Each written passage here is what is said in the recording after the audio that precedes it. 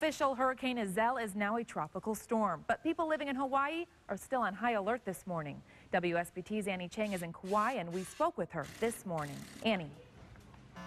Hi, Leanne. Yeah, the wind is starting to really pick up here, and it actually just started raining in some parts of the island. Um, we're hearing that wind gusts are up to 45 miles per hour in some parts. Our plan today is just to stay inside, wait out the storm. We'll find something to do while the uh, heavy winds and rain passes, but we're not too concerned right now. We're taking our cues from the locals who don't seem that panicked. Um, they say they've seen much worse.